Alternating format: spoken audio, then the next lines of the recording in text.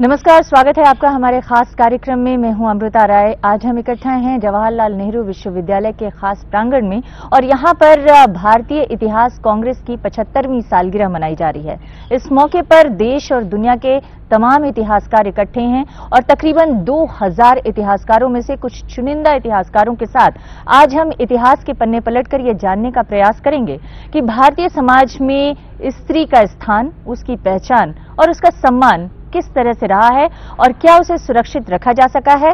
क्या वो कभी फैसले लेने की भूमिका में रही है? या फिर महाकाव्यों के चुनिंदा पात्रों को ही केवल ध्यान में रखकर स्त्री की भूमिका को बड़ा बनाकर दिखाने का प्रयास किया गया है?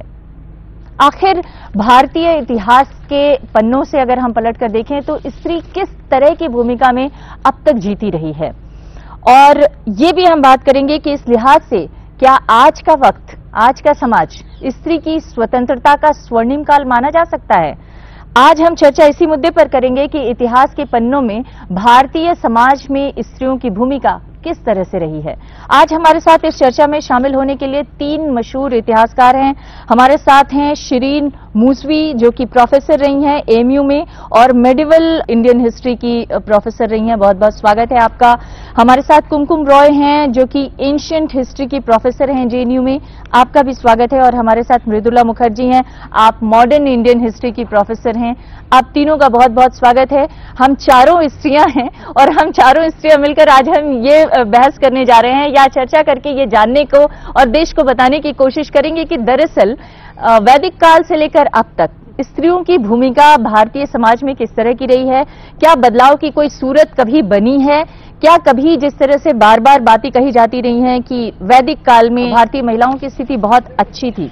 तो क्या हम कुमकुम जी, क्योंकि आप एंशंट इंडियन हिस्ट्री की प्रोफेसर हैं, इसलिए मैं आपके साथ शुरुआत करना चाहूँगी। क्या वाकई वैदिक काल में महिलाओं की स्थिति इतनी अच्छी थी कि हम उसे कह सकते हैं कि वो महिलाओं के लिए स्वर्ण काल था या आज ज़्यादा बेहतर है? देखिए ये तुलना करना मुश्किल है लेकिन वैदिक युग के बारे में कई धारणाएँ हमारे मन में है जिसको थोड़ा सही ढंग से देखने की ज़रूरत है। एक बात है कि जब हम वैदिक युग की चर्चा करते हैं हमें ये ध्यान में रखना चाहिए कि वैदिक युग सिर्फ़ पंजाब उत्तर पश्चिम के इलाके में वेदों की रचना हुई थी। हम्म। उस इलाके में उस ग्रंथ से वैदिक ग्रंथों से जानकारी मिलती है। बाकी भारतवर्ष के आधुनिक इलाकों में क्या स्थिति थी ये उस ग्रंथ के आधार पर कहना मुश्किल है। दूसरी जो बात है कि अगर हम इसका मतलब आप ये कह रही हैं कि इतिहास भी कुछ सीमित इलाकों तक सीमित था वो पूरे देश की औरतों की स्थिति को उसमें नहीं दर्शाया गया बिल्कुल है। बिल्कुल। दूसरी जो बात है कि अगर हम ऋग्वेद जैसे ग्रंथ को ले और हम जानते हैं कि ऋग्वेद में एक हज़ार से अधिक सूक्त या कविताओं की रचनाएँ हैं प्रार्थनाएँ हैं उनमें से अगर हम देखें कि महिला ऋषियों के द्वारा कितनी रचनाएँ की गई है तो हम देख पाते हैं कि उसमें एक हज़ार में से लगभग पंद्रह या बीस रचनाएँ महिलाओं की रचनाएँ हैं बाकी जो है आप एक परसेंटेज देख सकते हैं उसमें हम्म। एक हज़ार में से अगर पंद्रह या बीस महिलाओं की रचनाएँ हैं बाकी सारे पुरुष ऋषियों की रचना है। तो समानता की स्थिति नहीं थी। हम्म। ये जो महिलाएँ थी ये एक्सेप्शनल थी ये हम्म। व्यतिक्रम थी और उसी दृष्टिकोण से हमें उनको देखना चाहिए। जी। और अगर हम वेदों में देवता और देवियों की स्थान देखें तो देवता प्रमुख थे। अग्नि इंद्र सोम की पूजा के बहुत सारे प्रार्थनाएँ मिलती हैं। हम्म। देवियों की संख्या भी बहुत कम है और उनके लिए प्रार्थनाएँ भी कम है। तो, तो इस आधार पे हम ये कह सकते हैं कि जो लोग ये दावा करते हैं कि वैदिक काल स्त्रियों के लिए स्वर्ण काल था ऐसा था नहीं नहीं कुछ एक्सेप्शनल महिलाएँ हर युग में होते हैं हम्म। और उनके आधार पर मानना कि सब सभी महिलाओं के लिए आम महिलाओं के लिए वो स्वर्ण युग था हम्म। ये शायद गलत होगी लेकिन स्त्री प्रधान व्यवस्थाओं की अगर हम बात करें मुसवी मैम आपसे, अगर हम कुछ हिस्सों की भी बात करें, जहाँ पर स्त्रियों को या चुनिंदा स्त्रियों को को एक तरह से इम्पोर्टेंस हासिल थी, महत्व हासिल था तो वो महत्व की प्रेरणा, वो महत्व कहाँ से आया? क्या वो स्वतः प्रेरणा से वो महत्व पा रही थी? या फिर समाज उनको वाकई वो इम्पोर्टेंस दे रहा था? देखिए अगर आप अभी तक प्राचीन ही काल में हैं तो हालाँकि वो प्रोफेसर कुमकुम राय की फ़ील्ड है मेरी नहीं है। हम्म। मगर मुझे कम से कम ऋग्वेद में ये याद है कि जब इंद्र से प्रार्थना की जाती है तो दस बेटे मांगे जाते हैं। कभी किसी ने बेटी नहीं मांगी है। हम्म, हम्म। तो मुझे नहीं पता कि उसके बाद किस तरह हम ये कह सकते हैं और ये सिर्फ़ हम ऋग्वेद पर क्यों रुक जाते हैं? फिर हम अथर्वेद तक क्यों नहीं आते? जब औरत जो महिला जो है वो पलूट करने वालों में से हो जाती है। तो जो ये कहते हैं वैदिक काल में बहुत अच्छा था तो वो चाहे जितने भी छोटे भाग में हो या बड़े भाग में हो उसमें भी मुझे तो कभी ये नहीं नज़र आता कि वो मतलब आप ये कह रही हैं कि स्त्री के स्थिति के लिहाज से भारतीय इतिहास को कालखंडों में बांटा नहीं जा सकता। हर स्थिति में एक ही जैसी रही स्त्री। हर मैं कालखंड कहूँगी लगभग। क्योंकि जब तक ऋग्वेद से लेकर आगे तक जब तक कोई धर्म मुझे ऐसा नहीं मिला है जिसमें औरत या महिला जो है वो पुरुषों के बराबर रखी गई कोई धर्म नहीं किसी एक धर्म का आप मुझे नाम बतला दें। तो जब भी धर्म जो है वो सबसे आगे आएगा महिला पीछे जाएगी। हम धर्म के बारे में बात करेंगे लेकिन उससे पहले मृदुला जी मैं आपसे भी जानना चाहती हूँ। हालाँकि आप मॉडर्न इंडियन हिस्ट्री को ज़्यादा देखती रही हैं पर मैं ये ज़रूर जानना चाहूँगी कि अगर हम वैदिक काल से लेकर मॉडर्न हिस्ट्री तक आना चाहें तो उसके बीच में कई कालखंड आए। कुछ लोगों ने कहा कि वैदिक काल में स्त्रियों की स्थिति अच्छी थी। कुछ लोगों ने कहा कि भक्ति काल में स्त्रियों को बराबरी का हक दिलाने के लिए भी काफ़ी बातें हुई। पर क्या वाकई उन उन वक्त में भी कुछ चुनिंदा स्त्रियाँ ही आगे बढ़ पाई?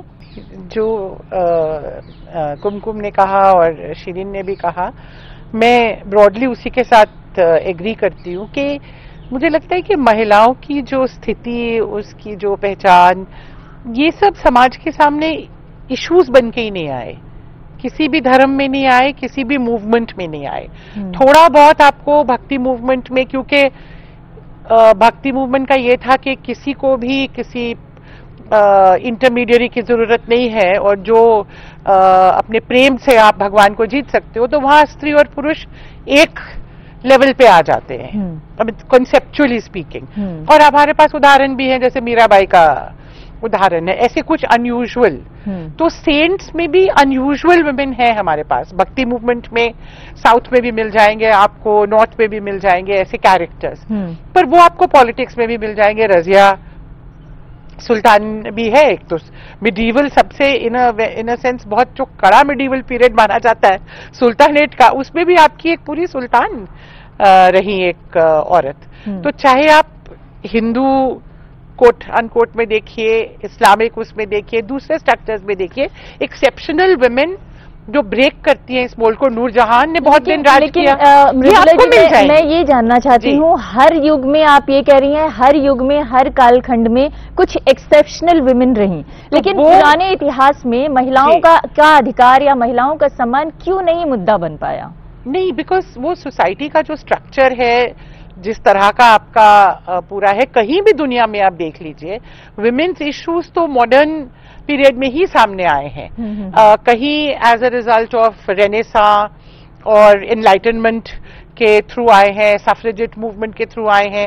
इसेंशियली नाइनटीन सेंचुरी में ही दुनिया भर में ये चीज़ें सामने आनी मतलब शुरू होती हैं। फ्रेंच रिवोल्यूशन और इसके बाद इंडस्ट्रियल रिवोल्यूशन हाँ, के बाद स्थिति अच्छी हुई। लेकिन मैं ये जानना चाहती हूँ जो चुनिंदा महिलाएँ आगे आई आपने वैदिक काल से लेकर और बाद तक की भक्ति काल और उसके बाद तक की महिलाओं की बात की जो चुनिंदा महिलाएँ आईं किसी भी तरीके से अपने को सिद्ध कर पाई, समाज में अपना स्थान बना पाई, वो दूसरी महिलाओं के लिए रास्ता क्यों नहीं आसान कर पाई, वो दूसरी महिलाओं के लिए मिसाल क्यों नहीं बन पाई? ये कुछ अंश तक मिसाल बन भी पाए थे विशेषकर अगर हम धार्मिक जो गतिविधियाँ थी उनको देखें जैसे कि बौद्ध धर्म में या जैन धर्म में हम देख पाते हैं और बाकी जो संसार छोड़ के जाने वाले जो संप्रदाय थे उनमें हम देख पाते हैं कि कुछ अंश तक अपनी जगह बना पाई थी। आ, लेकिन ये भी सही है कि जब तक एक प्रकार के गणतांत्रिक चिंतन का विकास नहीं होता है और गणतांत्रिक चिंतन आ, के आधुनिक रूप हम जैसे कि आपने कहा फ्रेंच रेवोल्यूशन के समय से देख सकते हैं। आ, उसमें भी हम देख सकते हैं कई प्रकार है कई क्रम है कई चरण है। उसके पहले अगर हम महिलाओं को देखें या पुरुषों को भी देखें ऐसा नहीं है कि सभी पुरुषों की स्थिति समान थी उनमें भी हम विभाजन देख सकते हैं हम्म। आर्थिक आधार पर सामाजिक आधार पर के आधार पर जाति के आधार पर। विभाजन हम देख सकते हैं तो ये महिलाओं के लिए भी है पुरुषों के लिए भी है और हमें अ, ये ध्यान में रखना चाहिए कि ये कंपैरिजन ये तुलना हमें करना है हम्म। अ, कि ऐसी स्थिति नहीं है कि सभी पुरुषों की स्थिति समान थी। हम्म। वैदिक युग में तो में इसलिए हमको ये बात नहीं करनी चाहिए कि अगर सभी पुरुषों की स्थिति समान नहीं थी तो सभी महिलाओं की भी स्थिति समान नहीं थी। इसलिए ये मुद्दा क्या हम इसको इसको कम करके देखें? नहीं इसको रेस करने की ज़रूरत है हाँ। क्योंकि एक तो है कि जो हम इनक्वालिटीज की चर्चा कर रहे हैं और हिस्ट्री कांग्रेस में इस पर चर्चा अलग से एक सेशन में भी हो रहा है। सेक्सुअल इनक्वालिटी एक बड़ी बात है जिसको हम हमें समझना चाहिए, लेकिन इसको इसको भी देखना चाहिए कि अलग अलग संदर्भ में किस तरह से इसका प्रकाश होता है। जी। एक और सवाल है शरीन जी, वो ये कि वक्त के हिसाब से अलग अलग जो कल्चर रहे, चाहे वो इस्लाम रहा, चाहे वो बौद्ध रहा या चाहे और दूसरे कल्चर रहे। उन धर्मों का कोई प्रभाव देखने को मिला महिलाओं की स्थिति पर? क्योंकि बहुत सारे लोग ये मानते हैं, जैसा कि अभी कुमकुम मैम ने भी कहा कि बौद्ध धर्म में माना जाता है कि उनको कुछ आज़ादी, कुछ महत्व मिला। इस्लाम के बारे में भी ऐसे ही मान्यताएँ हैं। लेकिन क्या वाकई धर्म का असर रहा समाजों पे? अगर आप, मैं बिल्कुल, एक तो पहली बात मैं कुमकुम से इस पर अग्री करती हूँ। कि हमें सारी महिलाओं को एक उसमें नहीं रखना चाहिए। में नहीं रखना हाँ चाहिए। उसमें भी हमें स्ट्रेटिफिकेशन देखना होता है जो बिल्कुल शुरू में उन्होंने कहा था। दूसरी बात ये कि अगर आप बुद्ध धर्म में भी कहें तो मुझे ये मालूम है कि भिक्षुनी चाहे जितनी सीनियर क्यों ना हो हम्म। अगर कोई बिल्कुल जूनियर भिक्षुक ना भी उसके सामने आ जाए हम्म। तो उसे उसकी बात माननी पड़ती थी जबकि एडमिशन का टाइम होता था उस पर भी। हम्म, तो भिक्षुनी और भिक्षु में कभी बराबरी नहीं बनाई गई। हम्म, उसे तो आप छोड़ दीजिए मैं अपने ही पीरियड पर आती हूँ जिस पर मुझे कुछ शायद मालूम है। आ, ये भी कहना मुश्किल है देखिए हरी युग में शायद ये रहा है कि जो काम करने वाली औरतें जो गरीबों की औरतें हैं उनको हमेशा आज़ादी रही है थोड़ी बहुत। हम्म, और क्योंकि वो आर्थिक उसमें उनका एक भाग दान था इसलिए उनकी पोजीशन थोड़ी बेहतर रहती थी। अगर आगे आप देखिए तो जिस वक्त अभी अम, प्रोफेसर मुर्दुला मुखर्जी ने रजिया सुल्तान का नाम लिया। तो रजिया सुल्तान के लिए सबसे सुंदर बात जो मैं कहूँ मेरे दिमाग में वो ये है कि उनका नाम उनके सब भाइयों को छोड़कर उनके बाप ने इल्तुतमिश ने प्रपोज किया कि मेरे बाद मेरी बेटी बनेगी। और उनके किसी नोबल ने उसके ऊपर उंगली नहीं उठाई। रजिया सुल्तान सुल्तान बनी कई साल तक रही। और उसके बाद चार साल के अंदर अंदर आपस में नोबिलिटी के झगड़े की वजह से उन्हें हारना पड़ा। तो ये कह देना, मैं इस पर एक छोटी सी बात ये कह दूँ कि मैंने एक मॉडर्न हिस्टोरियन को, आधुनिक काल के लिखने वाले को लिखा है कि क्या जमाना था कि मौलवी भी चुपचाप सुनते रहे कि एक औरत को बना दिया जाए और चूं तक नहीं की। तो मेरे ख्याल में वो मौलवी ज़्यादा प्रोग्रेसिव थे, जबकि आज के इतिहासकार हैं उससे। लेकिन मैं उस बात में आपके साथ एक ये भी कहूँगी कि देखिए औरतें किस वर्ग की हैं इससे बहुत फ़र्क पड़ता है। हम्म, एक शेख अहमद सरहिंदी साहब हुआ करते थे अकबर के ज़माने में बहुत मौलवी थे। उन्हीं ने कहा धर्म की मैं बात पर आ रही हूँ वो बहुत बड़े मौलवी हैं इसलिए उनकी बात बता रही हूँ कि कुरान में है कि औरतें आ, तुम्हारी खेतियों की तरह हैं उन्हें उस तरह से टिल एज यू विल उस तरह से जो तो बो जिस तरह से तुम्हारा दिल चाहे। फिर उन्हीं ने कहा हमें भगवान का बहुत आभारी होना चाहिए। ये मौलवी ने कहा ये शेख अहमद सरहिंदी साहब ने कहा था। मैं नाम के साथ आपको बता रही हूँ। और खुद उनके मकतूबात रंबानी में है कहीं किसी और ने उनके बारे में नहीं कहा उन्होंने खुद लिखा है। दूसरी बात उन्हीं ने ये कही कि औरतें भगवान का आभारी मर्दों को इसलिए होना चाहिए कि उन्हीं ने औरतों को बनाया और उनको सारी सुंदरता दी ताकि हम उन्हें एंजॉय कर सकें। सकें। एंजॉय कर सकें। हम्म। और वो इतना बड़ा दानी है कि उसने हमें एक वक्त में चार बीवियाँ रखने की इजाज़त रखने की दी और बेगिनती कनकुबाइन भी रखने की इजाज़त दी। लेकिन ये क्या ईश्वर ये क्या अल्लाह ने अभी ये, पहले ये मुझे पूरा दी? ये तो मैं नहीं जानती लेकिन वो ये कह रहे हैं कि ये वो हाँ। और शायद कुरान में ये है भी। मुझे नहीं मालूम मैं अपने मैं कुरान के ऊपर कोई अथॉरिटी नहीं हूँ लेकिन शेख अहमद सरहिंदी ये कहते हैं। और फिर उन्हीं कहा, वो उससे ज़्यादा उसने अच्छी बात ये की कि डाइवोर्स या तलाक के मैकेनिज्म से हमें बीवियों को एक एक को तलाक दे के नई औरतों को बीवी बनाने का भी अवसर दिया। तो ये तो उनका एक बात थी। और इनका औरतें बिल्कुल ऐसी होती हैं कि उनकी आवाज़ बाहर न जाने पाए। वो बेअकल होती हैं। नहीं लेकिन लेकिन शिरीन जी क्या ये आपको नहीं लगता कि ये एक मौलवी का अपना एक- विचार भी हो सकता है? ये ज़रूरी नहीं है कि इस्लाम में कुरान में यही शिक्षा हो। ये हो सकता है कि ये मौलवी का अपना विचार हो जिसको उस वक्त के लिहाज से ज़्यादा सही समझा गया हो क्योंकि इसमें सब सारे पुरुषों को अपना हित दिखता हो। देखिए ऐसा है कि उन्हीं ने कुरान की आयतें साइट की हैं। कम से कम so as you till as you will उन्हीं ने आयत के साथ दिया है। बाकी चीज़ों को मैं नहीं और ये भी कि चार शादियाँ की जा सकती हैं ये भी कुरान में ही मौजूद है। हम्म, तो इसको तो आप नहीं कहीं से डिनाई कर सकती और बातों या उसको उसको सब मान भी नहीं रहे थे मैं ये भी नहीं कह रही। हम्म, और मगर उसके फ़ौरन बाद उन्होंने ये फरमा दिया कि लेकिन ये सब बातें पैसे वालों की औरतों के लिए हैं। गरीब औरतों को ना अंदर रहने की ज़रूरत है ना उनको आवाज़ तक को उनके पर्दा करने की ज़रूरत है। उनका तो काम ये है कि वो मजदूरी करें दूसरों के घरों में भी जाके काम करें। हम्म, हम्म, हम्म, उनके ऊपर ये कोई पाबंदियाँ नहीं है। मुझे यकीन है कि कुरान में ऐसी कोई बात नहीं है। आपने एक राजनीतिक उदाहरण दिया और एक जो है समाज की सोच का उदाहरण दिया। लेकिन पैरामीटर और क्या क्या हो जिसके आधार पर हम ये माने कि दरअसल औरत को इम्पोर्टेंस मिली या नहीं मिली एक ब्रेक के बाद इस पर चर्चा करेंगे।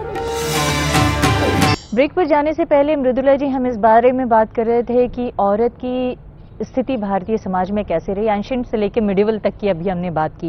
लेकिन मैं बार बार एंशंट और मिडिवल और उसके बीच में आती रहूँगी। एक, जब औरत के इम्पोर्टेंस की बात हम करते हैं तो हम किन किन पैरामीटर्स को लेके चलते हैं, ये भी बहुत इंपॉर्टेंट है। आप सबने कहा कि अलग अलग वर्ग के लिए अलग अलग पैमाने थे।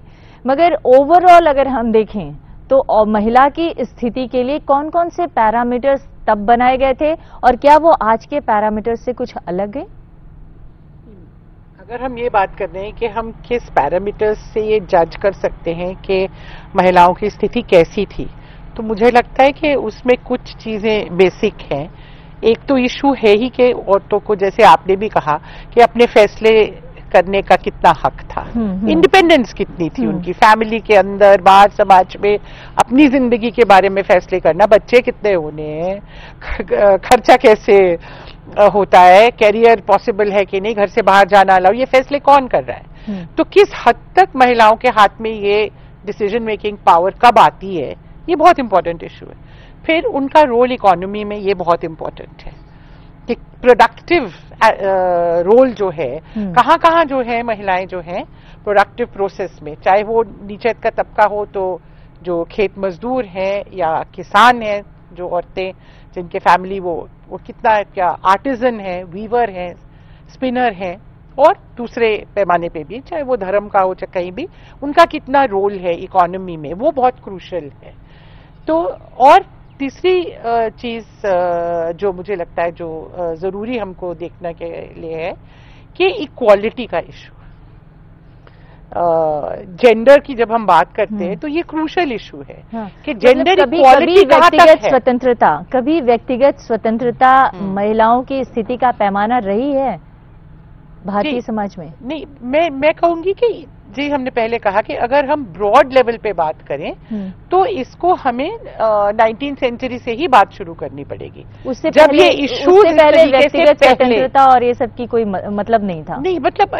किसी पैमाने पे नहीं हाँ। एज सेड कोई एक्सेप्शनल केसेस को आप छोड़ दें हम्म, तो उसके उसके अलावा अलावा कभी नहीं। नहीं एक मास लेवल पे एक जो इशू है कि महिलाओं का एजुकेशन होना चाहिए नहीं होना चाहिए उनका फैमिली में क्या रोल होना चाहिए जो गलत प्रथाएँ बन गई थी वो अबॉलिश करी। ये as social issues as social question public के सामने आना इनका डिबेट होना प्रेस में डिबेट होना इस पे लॉज पास होना ये सब नाइनटीन सेंचुरी के पहले हमको नहीं मिलता को नहीं मिलता तो ठोस बात इस तरह की हमें जो करनी पड़ेगी हम्म। फिर वहाँ क्या क्या मूवमेंट्स होते हैं क्या क्या वहाँ कई कुछ होता है। जी। कुमकुम मैम जो जिस सवाल को मैंने मृदुला जी से पूछा था, वो मैं आपसे फिर से पूछना चाहूँगी कि जब हम महिलाओं की स्थिति की बात करते हैं तो आपने कहा कि चुनिंदा महिलाएँ थीं जो आगे बढ़ी, लेकिन उसके अलावा बड़े पैमाने पर समाज में एंशियंट काल में भी कोई, या मेडिवल काल में भी कोई ऐसा उदाहरण नहीं देखने को मिलता है, जिससे हम कह सकें।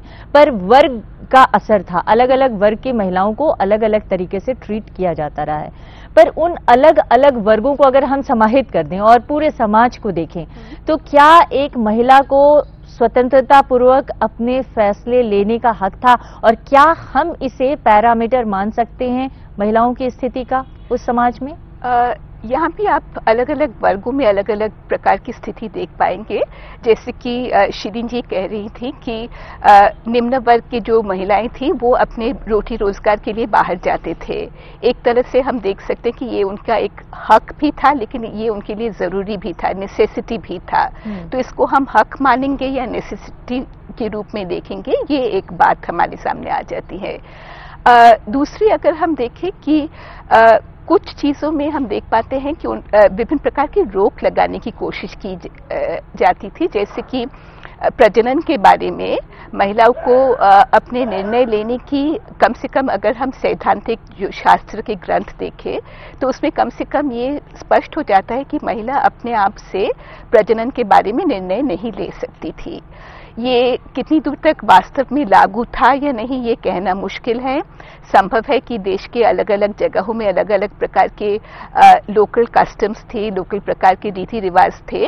उसमें अलग प्रकार की स्वतंत्रता ज़रूर हो सकती थी जैसे कि जिन्हें हम आदिवासी कहते हैं उन उन उनमें अलग प्रकार के रीति रिवाज प्रचलित हो सकती थी अभी भी है। ये अलग प्रकार की स्थिति हम देख सकते हैं। लेकिन अम, किसी भी अ, हक के लिए आंदोलन के प्रमाण मेरे ख्याल में आधुनिक युग के पहले ढूंढ निकालना मुश्किल है। जी इसका और ये मतलब सिर्फ़ भारत के लिए नहीं ज़्यादातर दुनिया के देशों के लिए। लिए आप देख सकते हैं कि वही स्थिति थी। जी तो इसका ये- मतलब आप ये कह रही हैं कि अगर हम महिलाओं के हक अधिकार स्वतंत्रता फैसले लेने की आज़ादी इन सब की बात करें तो हमें फ्रेंच रिवोल्यूशन के आगे देखना चाहिए उससे पहले नहीं देखना चाहिए क्यों?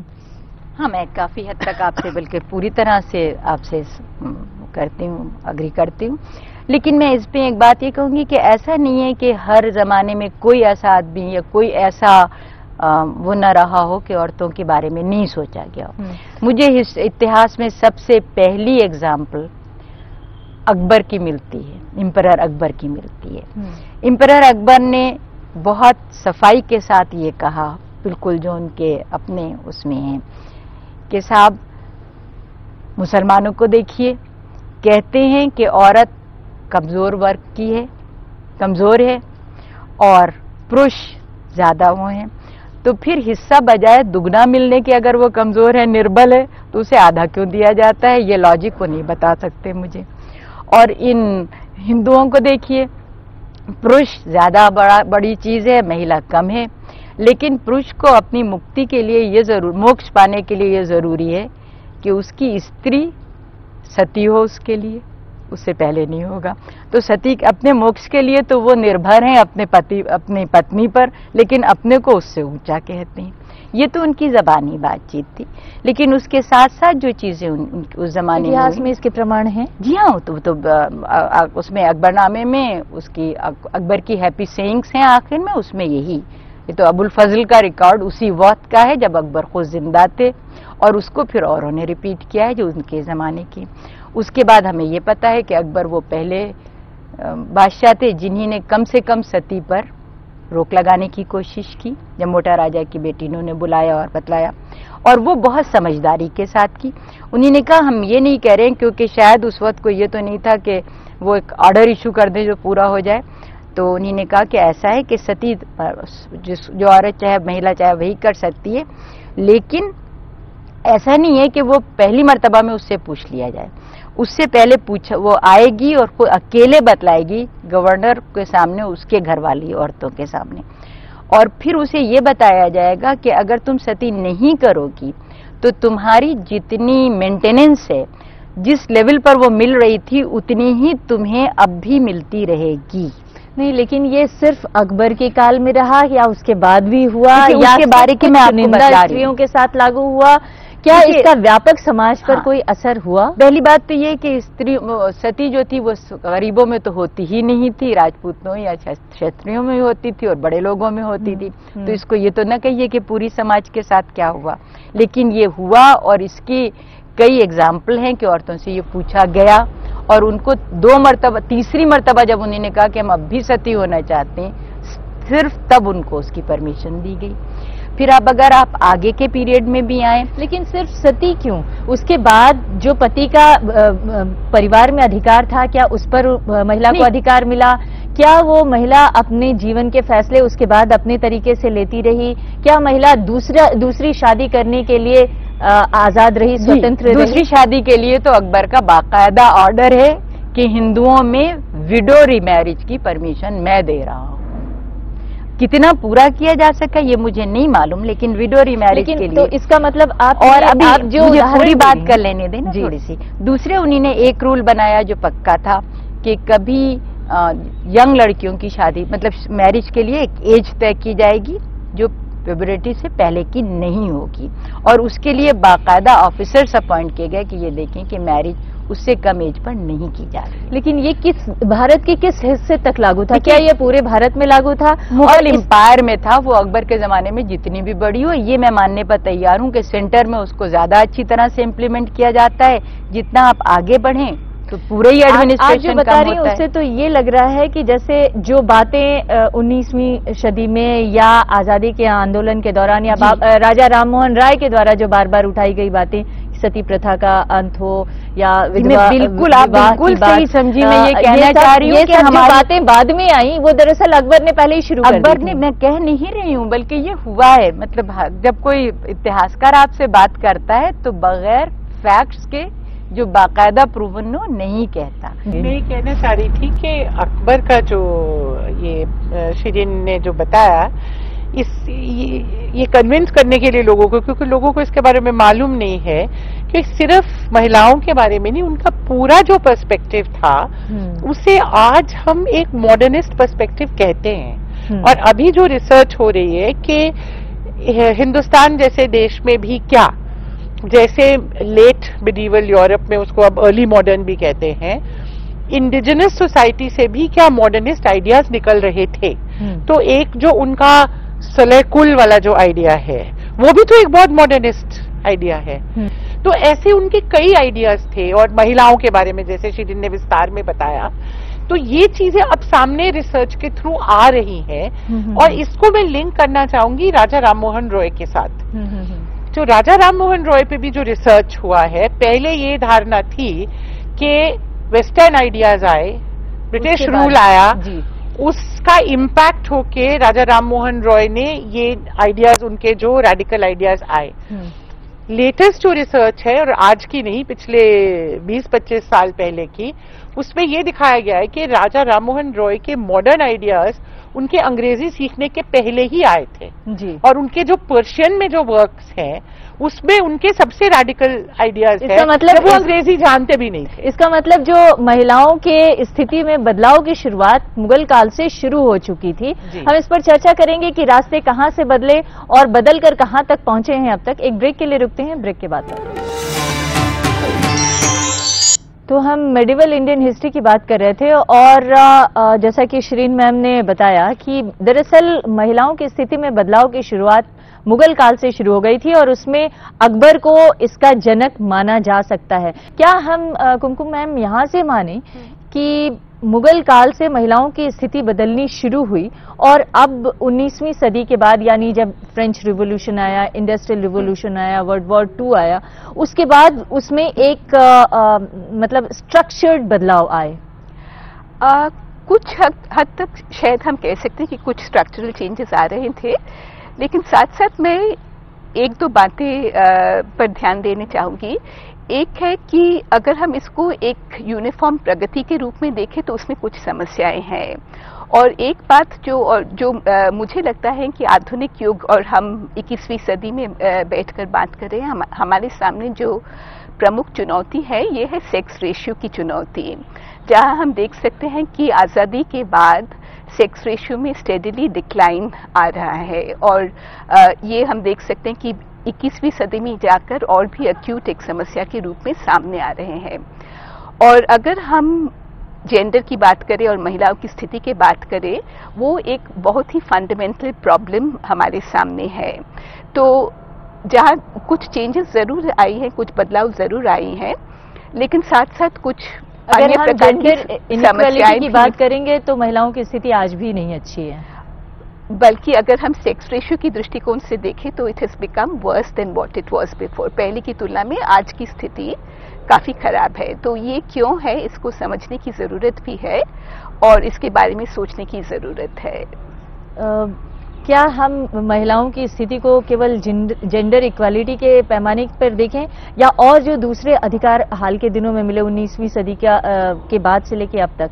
और खास तौर से जो फ्रेंच रिवॉल्यूशन का असर हमारे भारतीय आज़ादी के आंदोलन पर पड़ा और उसका असर हमारे संविधान में जो भारतीय महिलाओं को बराबरी का हक दिया गया, उसमें परिलक्षित हुआ। मैं आपसे बिल्कुल इसके ऊपर सहमत हूँ कि सिर्फ़ जेंडर रेशियो इंडेक्स नहीं बनाया जा सकता और चीज़ों के भी लेना है और नेशनल मूवमेंट के बाद हमें ये देखना है कि नेशनल मूवमेंट ने जो चीज़ें ली उनमें एक चीज़ थी रीज़न और इसीलिए 1956 में जब हिंदू कोड बिल पास हुआ तो पंडित नेहरू की वो एफर्ट हम्म। कि कम से कम औरतों को कुछ अधिकार तो मिल जाएँ जो हम्म। मिल भी गए और उसके बाद भी उसमें आगे बदलते रहे और अगले जो अमेंडमेंट्स हुए उससे ज़्यादा मिलते रहे। वो सिर्फ़ इसलिए था कि धर्म में कुछ हो, हमें उन्हें अधिकार देना है। तो जब आप धर्म से अलग होके आए और आपने कहा कि नहीं, अधिकार देना है, तब आप दे पाए। तो रीजन पहली चीज़ होती है, आपको लॉजिक से चलना है, उस अंधविश्वास से नहीं चलना है जिससे चल के किसी को, उसमें तो फिर आपको न शेड्यूल कास्ट को मिल सकता है और न और लेकिन संविधान ने अधिकार तो दिए मगर अधिकारों का इस्तेमाल तब शुरू हुआ जब टेक्नोलॉजी ने जीवन को बदलना शुरू किया। क्या आप इसे मानती हैं सही? देखिए बदलाव जब भी किसी सोसाइटी में आता है तो उसका इमीडिएट इम्प्लीमेंटेशन तो कभी भी नहीं होता जैसे आपने अकबर के बारे में जो भी पूछा। पर हिस्टोरिकली हम क्या सिग्निफिकेंट मांगते हैं कि एक नया मानते हैं कि नया विचार आया। हम्म। क्योंकि नए विचार पहले आते हैं कई बार एक सेंचुरी दो सेंचुरीज का लैग होता है उस उनके इम्प्लीमेंटेशन में। ये हिस्ट्री का दौर ऐसा ही होता है। पर वो नए आइडियाज़ जब आते हैं हम उसको रिकग्नाइज करते हैं इनका सिग्निफिकेंस क्या है। हम्म। तो जैसे अकबर के बारे में हम बात कर रहे थे तो एक जर्मन हिस्टोरियन है हम्म। बहुत वेल नोन रॉथरमंड जो ने इंडिया पे बहुत लिखा है। उन्होंने ये पॉइंट आउट किया कि अकबर के युग में अकबर जो थे reason rationality secular religious principles की बात कर रहे थे और उस वक्त यूरोप में इंक्विजिशन चल रहा था। जो कि मोस्ट बैकवर्ड काइंड वो था और उस पर ये दिखाने की कोशिश करी है कि कहीं भी जब ऐसे आइडियाज़ आते हैं हम उनको रिकग्नाइज करना ज़रूरी है हम्म। तो जहाँ तक नेशनल मूवमेंट का सवाल है मैं उस पर ये एम्फोसाइज करना चाहूँगी कि पहले सोशल रिफॉर्म मूवमेंट जो कि राम मोहन रॉय का मैंने पहले भी नाम लिया जो पूरे नाइनटीन सेंचुरी में तरह तरह के फॉर्म्स के थ्रू सारे इंडिया में फैला दूसरी कम्युनिटीज में भी फैला हम्म। सिर्फ़ हिंदुओं में नहीं ये अलग कम्युनिटीज uh, में भी uh, गया। और दूसरा जो फ्रीडम स्ट्रगल जब से शुरू होती है और खासकर जो गांधी जी का जो पीरियड है uh, जो रेडिकल ब्रेक आता है उसमें इंपॉर्टेंट चीज़ें सिर्फ़ ये नहीं है कि एनी बेसेंट एक आयरिश वुमन पहली प्रेसिडेंट थी इंडियन नेशनल कांग्रेस की 1917 में। एक बहुत बड़ी चीज़ थी। जी। 1925 में सरोजनी नायडू प्रेसिडेंट बन जाती हैं। पर सिर्फ़ ऐसी महिलाओं तो मैं कई मेंशन कर सकती हूँ जो इंपॉर्टेंट लीडर्स है रोनासाफ अली है गीता मुखर्जी है कि ऐसे तो बहुत सारे हैं। पर इंपॉर्टेंट चीज़ ये थी कि महिलाओं ने हज़ारों की तादाद में और लाखों की तादाद में स्वतंत्रता संग्राम में हिस्सा लिया। जी। सड़कों पे आई मीटिंग अटेंड करी जेल गई धरने किए कोई ऐसा काम उन्होंने छोड़ा नहीं ट्रेड यूनियन बनाए। गांधी जी ने एक बात कही थी बहुत ज़रूरी। उन्होंने मृदुला साराभाई को बुलाया 1932 में और उनको कहा कि मैंने हिंदुस्तान की औरतों को रसोई घर से बाहर निकाल लिया है। अब तुम्हारी जिम्मेवारी है कि वापस ना जाए। आपने कहा कि उस समय जब आज़ादी का आंदोलन चल रहा था देश के सामने एक बड़ा कॉज था। उस बड़े कॉज के लिए लोगों ने भी अपनी महिलाओं को एनकरेज। किया कि वो बाहर जाएँ और आंदोलन में हिस्सा लें और बदलाव का, का एक हिस्सेदार बने। मगर उसके बाद क्या हुआ? क्यों क्यों वो वापस फिर से रसोई की तरफ़ लौट गई? इतनी ज़्यादा तो रसोई की तरफ़ नहीं लौटी? मैं पहली बात तो आपसे इससे नहीं अग्री करती कि बहुत फ़र्क पड़ा आज़ादी के पहले की औरतों में मतलब नेशनल मूवमेंट से पहले और बाद। मगर दूसरी बात जिसको मैं कहूँगी वो ये कि आप कहती हैं विचारधारा में जब तक खुद महिलाओं की विचारधारा न बदले। और वो विचारधारा बदलना बहुत ज़रूरी है। अगर आज भी हमारे लिए पति परमेश्वर है हस्बैंड जो है वो खुदाए मजाजी है। हम्म, हम्म, हम्म। तो फिर आपकी पर विचारधारा नहीं बदल सकती। तो जिन विचारधाराओं की बदलने की बात आप कह रही हैं उसके लिए आपको ब्लाइंड फेथ से हटके रीजन में आना पड़ेगा रैशनैलिटी में आना पड़ेगा। आप दोनों चीज़ों को साथ नहीं चला सकते। ये अकबर की अपनी भी सोच थी। और इसीलिए उसने सारे धर्मों को निगेट को वो, वो किया था। ये कहा था कि सबको वो है लेकिन साथ साथ ये कहा था कि जो रीजन और रैशनैलिटी को भी उतना ही अधिकार है जितना किसी और धर्म वाले का है। तो जब तक आप रैशनैलिटी पर नहीं आएँगे पति परमेश्वर रहेगा उसके पैर छुए जाएँगे उसके बगैर आप नरक में ही जाएँगे तब हम्म। तक कुछ नहीं होगा। एक ब्रेक के लिए रुकेंगे और ब्रेक के बाद लौटेंगे तो बात करेंगे कि क्या अभी का मौजूदा समाज रैशनैलिटी की तरफ़ जाता हुआ दिख रहा है या नहीं। शिरीन मैम अभी हम आपसे बात कर रहे थे और आपने बताया कि जब तक तर्क का विस्तार नहीं होगा और धर्म को हावी रखा जाएगा समाज पे तब तक महिलाओं की स्थिति को सुधारना मुश्किल है। लेकिन अगर हम मौजूदा वक्त की बात करें, मौजूदा समाज की बात करें, भारतीय समाज की तो क्या हम जो संवैधानिक अधिकार हैं महिलाओं के, उनको लेकर आगे बढ़ पा रहे हैं। एक्चुअली मुझे जो लगता है कि तर्क में महिला और पुरुष दोनों को ही शामिल होना है, क्योंकि हम अब तक मर्दों की सोच बदलने के बारे में उतना नहीं सोचा है। जो जो लोग महिला आंदोलन में शामिल होते हैं और उसमें काम करते हैं, वो आमतौर से महिलाओं की सोच बदलने पर ज़ोर देते हैं। लेकिन जब तक हम पुरुषों के जो धारणाएँ हैं, उनकी जो सोच है उनको नहीं बदल पाएँगे तब तक एक प्रकार के वायलेंस एक प्रकार के प्रेशर एक प्रकार के डोमिनेंस चलते रहेगा और दोनों काम साथ साथ लेकिन चलाने जो की जो पुरुष है हमेशा से सत्ताधारी या सत्ता का सुख भोगते रहे हम्म। हैं अपने आप को महिलाओं से ज़्यादा ताकतवर और सबल मानते रहे हम्म। हैं वो ऐसी विचारधारा को ऐसी धारणाओं को क्यों पनपने देंगे क्यों आगे आने देंगे क्यों रैशनैलिटी को स्वीकार करेंगे आ, मेरे ख्याल में आ, कुछ अंश तक जिस प्रकार के हम मैस्कुलिनिटी आज देखते हैं उनसे उनकी भी पूरे जो मानविक विकास है, वो नहीं हो पाते हैं। इमोशनली भी नहीं हो पाते हैं, दूसरी तरह से भी नहीं- हो पाते हैं। उनको लगता है कि उनके हाथ में सत्ता है, लेकिन वो बहुत कुछ खो भी देते हैं उस सत्ता की खोज में। तो अगर इस प्रकार की सोच को हम बढ़ावा दे सकते हैं, इसको फैला सकते हैं तो ये एक प्रकार है जिसके माध्यम से हम कुछ बदलाव ला सकते हैं। लेकिन आज की जो स्थिति है, वो कभी कभी लगता है एक बहुत ही खतरनाक स्थिति है हालाँकि 20 सालों के दौरान महिलाओं की स्थिति में काफ़ी सुधार आया और जब से कम्युनिकेशन का एक तरह से विस्तार हुआ है जब से कॉन्ट्रासेप्टिव्स का विस्तार हुआ है जब से टेक्नोलॉजी हमारे देश में आई है समाज में आई है हाँ। तब से क्या महिलाएँ उसका इस्तेमाल करके पुरुषों की सोच को बदलने में कुछ हद तक कामयाब हुई हैं या पुरुषों से आगे जाती हुई दिख रही हैं एक्चुअली यहाँ भी हमें देखना है कि हम कौन सी महिला की बात कर रहे हैं क्योंकि जहाँ तक कॉन्ट्रोसेप्टिव्स की बात है। हम हमने अभी देखा है कि बिहार में स्टेरिलाइजेशन प्रोग्राम की क्या नतीजा हुआ है हाँ छत्तीसगढ़ में। तो उस तरह की घटनाएँ भी अभी हो रही हैं जो अ, हमें उम्मीद नहीं थी कि 21वीं सदी में कहीं भी होगी इस प्रकार की जो घटनाएँ हैं। तो कई चीज़ों पर हमें विचार करना है कि अ, किस तरह से टेक्नोलॉजी का इस्तेमाल हो रहा है। और टेक्नोलॉजी एक अ, ऐसी चीज़ है जो न्यूट्रल है लेकिन किस किन के हाथों में टेक्नोलॉजी है किस लिए प्रयोग कर रहे हैं किस संदर्भ में टेक्नोलॉजी के प्रयोग हो रहा है वो देखना भी ज़रूरी है।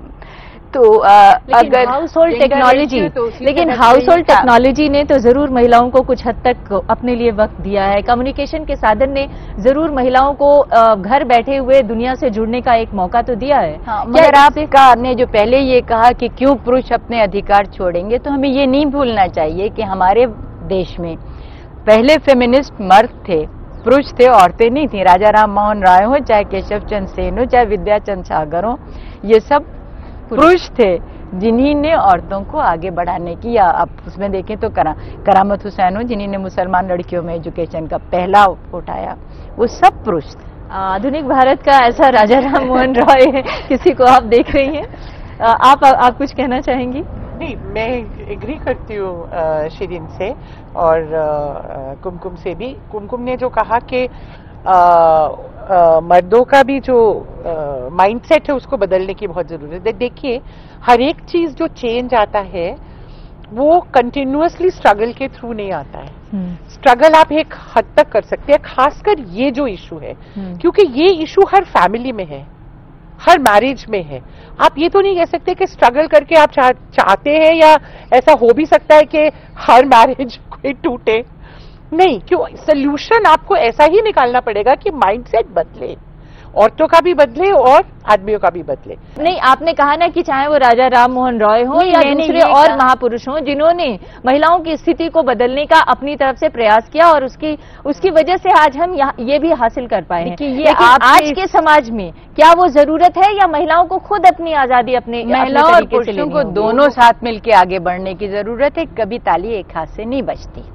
जब तक आप दूसरों को परसुएट करके अपने साथ नहीं लाएँगे तो आप क्या क्या चीज़ हासिल कर लेंगे अगर महिलाओं को अपनी जीत अपनी कोई चीज़ प्राप्त करना है तो फिर पुरुषों के सोचने का तरीका उन्हीं को बदलना पड़ेगा ना हम्म। उनको अपने साथ ला के लड़ाई करना पड़ेगी ना तो आप ये मत कहिए कि ये दो ऐसे डिवीज़न है जो अलग नहीं होते मैं जो कहना चाह रही हूँ वो ये कह रही हूँ कि सब पुरुष जो हैं वो महिलाओं के अधिकारों के अगेंस्ट नहीं है। और ये भी कहना गलत है कि हमेशा महिलाओं ने खुद अपने आप अपने लिए सब कुछ प्राप्त किया है। शुरू में उन्हें नहीं थी जो जो ज़्यादा पढ़े लिखे थे जिनको फ्रेंच रेवोल्यूशन के इन्फ्लुएंसेस जिन पर आ चुके थे वो वो थे जिन्होंने ये सोचा और फिर सबसे पहले ये इस बात पर ज़ोर दिया कि एजुकेशन होनी चाहिए ताकि औरतें अपने लिए आप सोच सकें। जी आप कुछ कहना चाहेंगे इसमें आ, मैं ये कहना चाहूँगी कि एक्चुअली हमें आ, शिक्षा के माध्यम से हो या मीडिया के माध्यम से हो लोगों की सोच बदलने की कोशिश करनी चाहिए। कोई महापुरुष की आवश्यकता नहीं है। आम औरत आम आदमी मिलकर ही बदलाव ला सकते हैं हाँ तो उसके लिए प्रयास करनी है। और कुछ अंश तक आपने जो टेक्नोलॉजी की बात की है अगर टेक्नोलॉजी को सही ढंग से इस्तेमाल की जाए तो शायद कुछ आशा की रेखा देख सक ये देखा जा ज़रूर है सकता कि है। अ, अ, समाज में प्रगतिशील सोच हाल के दिनों में बढ़ी है। लेकिन ये भी सच है कि पुरुष जितनी तेज़ी से महिलाएँ आगे बढ़ रही हैं जितनी तेज़ी से महिलाएँ अपने हक के इस्तेमाल कर रही हैं उतनी तेज़ी से पुरुषों की सोच में बदलाव नहीं आ रहा है। और इस वजह से समाज में एक कॉन्ट्रडिक्शन भी पैदा होता हुआ दिख रहा है। तो महिलाओं को अपने अधिकार आपने जैसे कहा कि पुरुष और महिला मिलके ही इस इस समाज को बेहतर बना सकते हैं। तो उनके लिए कैसे कन्विंस करने की ज़रूरत है? मतलब आज कोई महिला अगर इतिहास को महिलाओं के पक्ष में करने के लिए एक नया पन्ना जोड़ना चाहती है तो वो क्या करे? कैसे कैसे आगे बढ़ा जा सकता है? देखिए इतिहास के तो उदाहरण हमारे पास है ही। हम्म। उस पे तो इतिहास के पास आप जाएँगे ये दिखाने के लिए कि इंट्रिंसिकली औरतों में महिलाओं में कोई कमी नहीं है। हम्म, जो एक्सेप्शनल महिलाएँ हैं उनके एग्ज़ाम्पल हमें ये दिखाते हैं कि जहाँ मौका मिलता है तो वो एम्पर भी बन सकती है वो आर्टिस्ट भी बन सकती है कुछ भी बन सकती है। कोई भी ऐसा काम नहीं है जो महिलाएँ नहीं कर सकती हैं। तो ये आर्गुमेंट हिस्ट्री से आपको बहुत सारे मिल लेकिन तब मौके कम थे आज मौके ज़्यादा मौके ज़्यादा है मौके बदला हुआ है। इसलिए ये आर्ग्यूमेंट कि ये प्रोफेशन या ये काम जो है यहाँ महिलाएँ नहीं कर सकती या किसी भी प्रोफेशन के अंदर महिलाएँ उतना ही अच्छा या मर्दों से ज़्यादा अच्छा नहीं कर सकती, जो ग्लास सीलिंग वाली एक बात है। क्योंकि जब रोज की बातें हम करते हैं तो ये चीज़ें इंपॉर्टेंट आती हैं। लेकिन छोटे छोटे सेक्टर्स के बदलाव से क्या हम भारतीय समाज के बड़े बदलाव की कल्पना कर सकते हैं? जहाँ आज भी महिलाएँ उतनी सुरक्षित नहीं हैं। आज भी महिलाओं के साथ बलात्कार की घटनाएँ हर 25वें 26वें मिनट पे हो रही है। आज भी महिलाओं की सुरक्षा एक बड़ा मुद्दा बना हुआ है देश में। डाउरी से आज भी महिलाएँ मर रही हैं। ऐसी स्थिति में क्या हम छोटे छोटे सेक्टर्स में बदलाव करके किसी बड़े बदलाव की कल्पना कर सकते हैं? अधिकार तो बहुत है मगर उन अधिकारों का इस्तेमाल कहाँ कर पा रही हैं मेरे ख्याल में हमें छोटे जो परिवर्तन है उनको नकारना नहीं चाहिए क्योंकि उससे कम से कम लोगों को प्रेरणा मिलती है कि कुछ बदलाव तो आ सकती है और धीरे धीरे उससे ये जो हम परिवर्तन के बारे में सोच रहे हैं ये एक मौलिक परिवर्तन है। लोगों की धारणा में परिवर्तन। ये कोई जल्दी से आने वाले परि, परिवर्तन नहीं आसानी से भी नहीं आएँगे लेकिन इसके लिए प्रयास जारी रखने की ज़रूरत है। तो छोटे परिवर्तन छोटे परिवर्तन है बोल के उनको नकारना आ, मेरे ख्याल में आ, अच, आ, सही नहीं मतलब रहेगा सही नहीं होगा। लेकिन आ, बात यह है कि महिलाएँ कब जो हमारे संवैधानिक अधिकार है उनका इस्तेमाल खुद से करना सीख जाएँगी। क्या आपको लगता है कि अभी जिस तरह की हमारी सामाजिक, राजनीतिक परिस्थितियाँ हैं, उसमें महिलाएँ आगे बढ़कर अपने जितने भी संवैधानिक अधिकार हैं, उसका इस्तेमाल कर पा रही हैं या करने की स्थिति में हैं? देखिए कर तो रही है मैं ये नहीं कहूँगी लेकिन करने के लिए थोड़ा सा पढ़ा लिखा होना चाहिए। लेकिन जो मैं एक बात कहूँगी कि कुछ अधिकार जो होते हैं वो अगर कॉन्स्टिट्यूशनली मिलते हैं तो उनसे बहुत फ़र्क पड़ता है। जैसे पंचायती राज में औरतों के लिए किया गया। शुरू में ये कहा जा रहा था कि पुरुष उनके मतलब जो उनके पति हैं वो उसको करते हैं लेकिन अब मुझे मैं, मेरा अपना एक्सपीरियंस है कि ऐसा नहीं है। और मेरे ख्याल में अगर आज भी महिलाओं के लिए किसी किस्म का रिजर्वेशन पार्लियामेंट में हो जाए तो उससे बहुत बड़ा फ़र्क पड़ेगा। हम्म, उसको तरह तरह की ये बातें करके कि बिल आएगा तो हम ये कहेंगे कि किस वर्ग की औरतों को या किस कास्ट की औरतों को किया जाए इसको तारपीडो किया जा रहा है जिसके खिलाफ हमें लड़ना चाहिए। और अगर महिलाओं को किसी भी तरह का आरक्षण मिल जाए वहाँ के ऊपर एक को तो बहुत बड़ा तो अंतर आएगा। क्या आपको भी लगता है मृदुला जी कि क्या वाकई अगर महिलाओं को संसद में राजनीति में तो है लेकिन उस हद तक अभी पार्टिसिपेशन नहीं है अगर अगर। अगर 10 से 11 परसेंट के हाँ। आ, के करीब है लेकिन अगर संसद में वाकई 33 परसेंट रिजर्वेशन मिल जाए तो महिलाओं के पूरे देश में महिलाओं की स्थिति में सुधार आ सकता है मैं तो उसके आगे जाके कहूँगी कि जब 10 साल से ज़्यादा ये बिल फंसा हुआ है तो क्या प्रिवेंट कर रहा था हमारी पॉलिटिकल पार्टीज़ को जो इसमें विश्वास करती हैं हम्म। और कहती है कि हम सपोर्ट करें वो ये अपनी पार्टियों पे तो लागू कर सकती थी हम्म, कि हम इतने कैंडिडेट खड़े करेंगे। हम्म। अगर सब पार्टियाँ इतने कैंडिडेट खड़े कर दे तो आपको रिजर्वेशन की भी ज़रूरत नहीं है। हम्म, हम्म, ये वॉलंटरी भी हो सकता है पार्टीज़ के हिसाब से। हाँ। तो क्या प्रिवेंट किया? प्रिवेंट हमें यही कर रहा है कि हम उस पर उतना जोरों से विश्वास हमारा नहीं है। हम उसको इतना अहम मुद्दा नहीं समझ रहे हैं। हम नहीं समझ रहे हैं कि इसके नेगेटिव्स क्या हैं।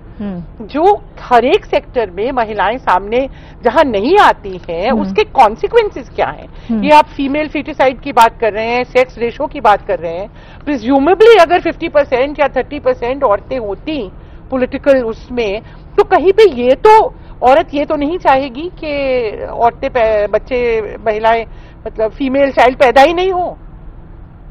तो ये कम से कम ऐसे बेसिक इश्यूज़ तो हम टैकल कर सकते थे बेटर हम हम भारत में महिलाओं की स्थिति पर चर्चा इसलिए कर रहे थे क्योंकि कोई भी समाज तब तक पूरी तरह से विकसित नहीं माना जा सकता है और उन्नत नहीं माना जा सकता है जब तक कि समाज के हर वर्ग को बराबरी का अधिकार और बराबरी से आगे बढ़ने का मौका ना मिले और सम, उन उन सब का कंट्रीब्यूशन देश के लिए ना हो। अगर हम देश के आज़ादी के लिए तमाम महिलाओं को आगे बढ़ता हुआ देखा हमने और तमाम महिलाओं के सेक्रीफाइसेस देखे तो क्या आज देश की उन्नति की बात करने वाले पॉलिटिकल समाज है? उन लोगों को आगे आकर ये देखने की ज़रूरत नहीं है या महिलाओं को बराबरी के हक पर लाने की ज़रूरत नहीं है। लास्ट कमेंट मैं आपसे जानना चाहूँगी। बिल्कुल आपने जो कहा मैं आपसे सहमत हूँ कि इसकी ज़रूरत तो है ही। अ, लेकिन ये अ, आसानी से नहीं होगी जल्दी से नहीं होगी। इसके लिए सबको प्रयास करने अ, करना पड़ेगा और इसके लिए संघर्ष जारी रखना पड़ेगा।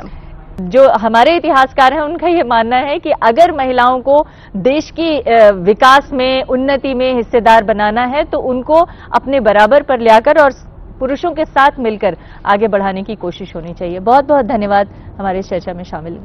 नमस्कार